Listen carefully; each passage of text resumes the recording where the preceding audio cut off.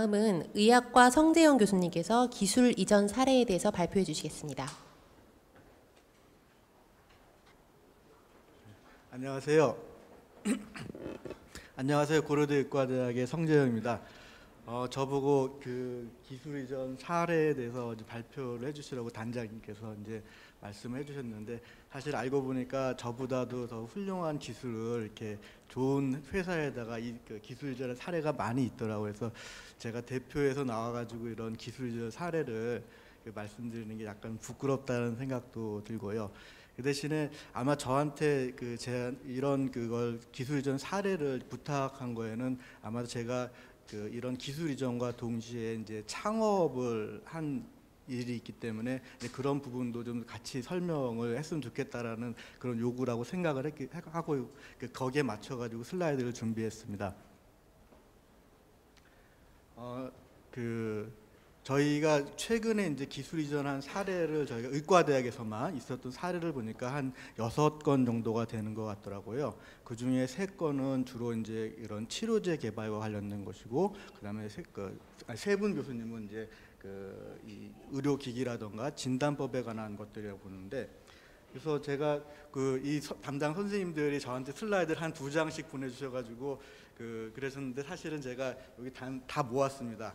좀 죄송하긴 한데 보내주신 선생님들한테 죄송하긴 한데 이렇게 모아놓고 보니까 그, 그 뭐 이경미 선생님 같은 경우는 그 이 특허 한 건을 그 항암 치료와 관련된 특허 그 특허를 양도하면서 그 NK 맥스라는 회사에 가지고 10여 원의 이제 기술료를 굉장히 아주 그 훌륭하게 진짜 그, 그 훌륭한 기술 이전이었다고 생각을 하고 있고요. 저도 있는데 저도 한 특허 세 건 정도가 신경계의 질환과 관련돼 가지고 그 펩타이드 신약은 애니젠에 그다음에 뉴라클 사이언스는 이제 항체 신약을 제가 기술 이전한 경험이 있고요. 그다음에 우리 단장님이신 김원기 선생님은 기술 이전 건수가 굉장히 많습니다. 그래서 특허가 약 그 특허 및 노하우가 약 그 한 다섯 아홉 건 정도 되더라고요. 그래서 거의 매년 한 건 내지 두 건 정도를 그러니까 기술 이전을 해주셔가지고 총 27억 원 정도의 이제 기술 이전을 하셨는데 그 내용들을 보니까 동화제약이라든가 신풍제약, 환인제약에 모아가지고 기술 이전을 하셨더라고요. 그래서 여기 요, 요 부분은 이제 그 주로 이제 그런 그 의학 치료제와 관련된 그런 그 치료 물질들을 이제 기술 이전한 사례라고 볼 수 있고요. 그 세 분 교수님들은 그 주로 이제 의료기기 진단법과 관련된 그 기술 이전이 있었던 것 같습니다. 그래서 아까 좀 전에 말씀하셨던 그 송예령 선생님 같은 경우가 그, 그 특허 및 노하우 양도가 두 건 정도 있는데 이게 한 3억 6천에다가 여기다 플러스로 해놓은 건 여기다 이게 기술 예약 사업이 되면 나중에 로열티가 이렇게 오는 그런 일들이 있어서 제가 플러스를 해놨습니다. 그래서 칸메디, 오스이에 이렇게 이전을 하셨는데 이게 주로 이제 골 결손 치료법 기기와 관련된 그런 기술 이전이었던 걸로 알고 있습니다. 그다음에 그 서홍석 선생님도 그 특허 양도 한 건 있고요. 이건 동맥경화 진단법과 관련된 건데 여기 세비온에 이렇게 특허를 기술 이전하셨고요. 그다음에 그 아까 사진에도 보이는데 그 임채승 교수님도 약 세 건 정도를 그러니까 특허를 양도해가지고 한 2억 8천 정도의 기술 이전 그런 게 있습니다. 그래서 그 혈소판 그런 진단법 해가지고 휴마시스, 그다음 인플루엔자 진단법에서 웰스바이오, 그다음 결핵 진단법 해가지고 YD 생명공학에 이렇게 기술 이전 하신 거를 제가 보았습니다. 그래서 어, 제가 이 사례를 보면서 우리 의과대학이 역시 정말 좀 잘하고 있구나. 옛날에는 사실은 이런 기술 이전 성과를 본다는 게 굉장히 어려웠었는데 이렇게 여섯 건 여섯 분이 이렇게 굉장히 좋은 기술 이전을 최근에 그 해주셔가지고 저도 상당히 놀라웠고 대단한 그런 잠재력을 갖고 있다라는 생각을 하게 됐습니다. 어, 요 기술 이전 사례는 였고요. 그다음에 제가 저희 그 회사 그 창업한 그런 사례에 대해서 좀 잠깐 말씀드리도록 하겠습니다. 그 제 저희 회사의 이름은 뉴라클 사이언스라고 하고요. 그다음에 창업은 사실 작년에 했습니다. 작년 10월 1일 날 했으니까 앞으로 한, 그러니까 한 2, 30일 지나면은 저희가 창립 1주년이 되게 됐습니다. 근데 그 사이에 이제 아직 1년도 안 된 회사지만은 그 대표이사를 포함해서 이제 10명의 직원이 있고요. 그다음에 주주는 대학 교수를 포함해서 약 90명 정도의 주주가 있고 그다음에 주식도 한 100만 주 이상 발행했고 6월 달에 이제 그 이그 그 증자를 했습니다. 그래서 현재 저희 회사는 한 240, 시가 총액으로는 한 242억 원 정도로 평가받고 있고요. 그다음에 그 이런 그 회사 창립한 지 정말 정말 얼마 되지 않아 가지고 저희가 범부처 신약 개발 사업단에 apply를 했는데 그게 됐습니다. 그래서 아마 가장 최단 회사 창립일에 가장 최단기의 범부처 사업이 된 우리 회사가 아닌가라는 생각을 하고 있고요.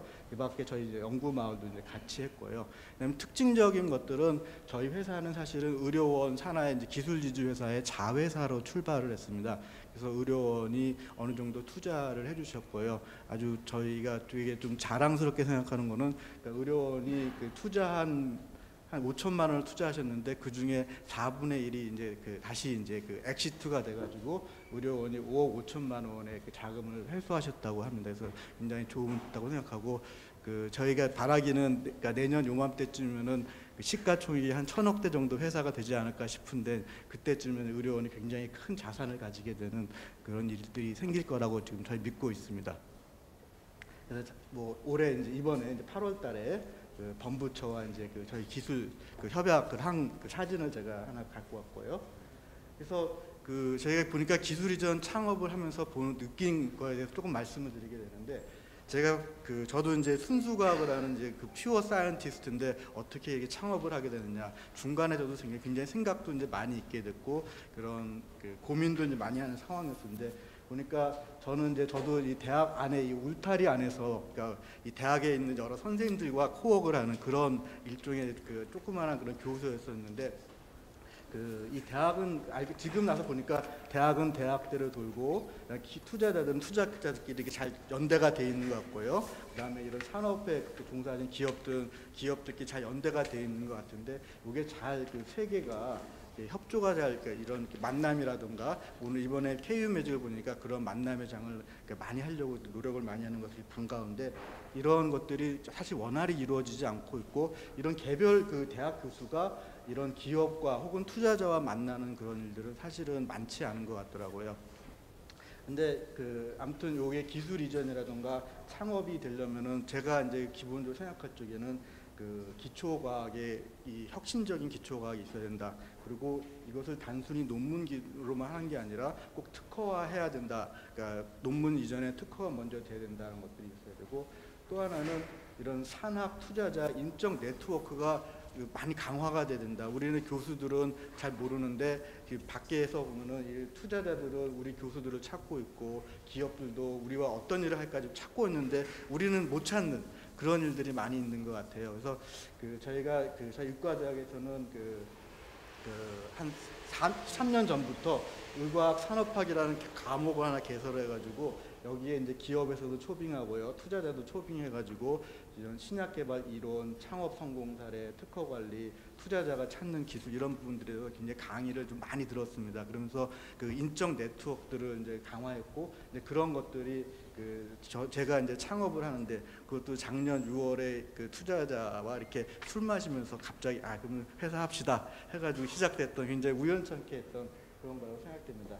그 다음에 그 학교에 이제 산학 협력 비슷한 그 다음에 기술 지주 회사가 이제 잘 협조를 해주셔가지고 그 결국은 요 세 가지 고리를 연결하는 그런 그 새로운 회사 그 누라클 사이언스라는 그런 창업 그러니까 회- 그- 그 회사가 이제 만들어지겠는데 이 회사를 그 설, 설립을 해놓고 나서 보니까 그렇더라고 요 교수가 다 하는 것들이 아니고 이제부터야말로 정말로 그 협동, 그러니까 협조가 이루어져야 된다라는 생각들이 들었고요. 투자자는 돈만 넣고 가만히 있느냐 그런 게 아닙니다. 보니까 그 투자자들은 이런 회사에 창업한 회사의 경영 지원, 재무 지원, 그다음에 특허 관리, 타기업과는 어떻게 연결하는가 이런 부분들을 다 관리를 해주는 그래서 저는 그 사이언스만 잘 도와주면 되는 그런 것들 그다음에 이를 통해 가지고 새로운 그러니까 그 같이 콜라보레이션 할 수 있는 기업들 그러니까 뭐 CRO, CMO, 기술협력 이런 것들을 알게 됐고 또 이와 동시에 이제 이게 되니까 대학 내에서도 같이 그 연구할 수 있는 분들 을 많이 할 수, 그, 그 같이 이제 콜라보레이션 하게 됐는데 물론 대학은 이제 원천 기술도 개발하겠지만은 저희 의과대학에 있기 때문에 저희가 발견한 것들의 어떤 임상적 그 미충족 수요가 무엇인지 그 다음에 임상 시험 같은 것들을 협력할 수 있는 구조가 됐다라는 생각이 됐습니다.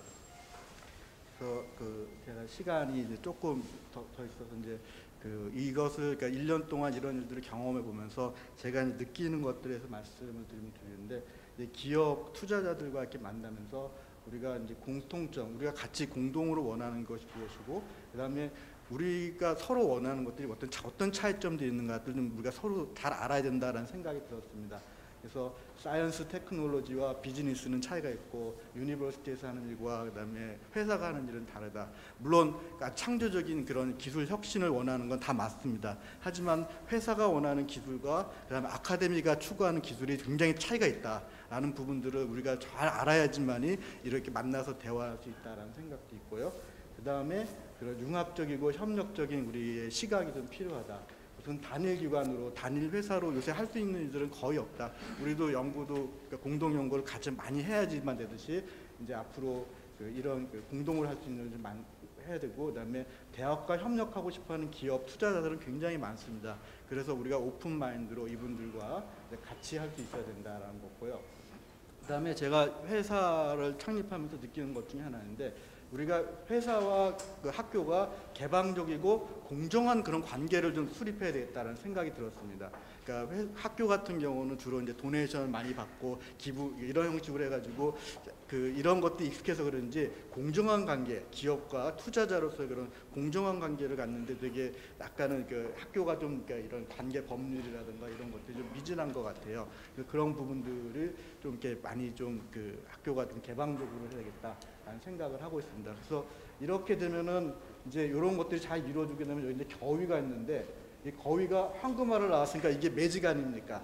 그래서 사실 이렇게 매직을 할 수 있는 매직을 만들 수 있는데 매직을 만들려면은 제 생각에는 이렇게 거위를 이렇게 잘 보살피고 그다음에 이 거위가 잘 살 수 있게 이렇게 그 기업과 학교가 서로 협조를 많이 해야겠다라는 생각을 하고 있고요. 그다음에 마지막으로는 도전적이고 창조적인 방법을 개척하자. 뭐 지금까지 가지 않았던 길이라도 우리가 충분히 갈 수 있다라는 그런 생각을 가지면은 이런 일을 할 수 있지 않을까라는 생각을 했습니다. 네, 감사합니다.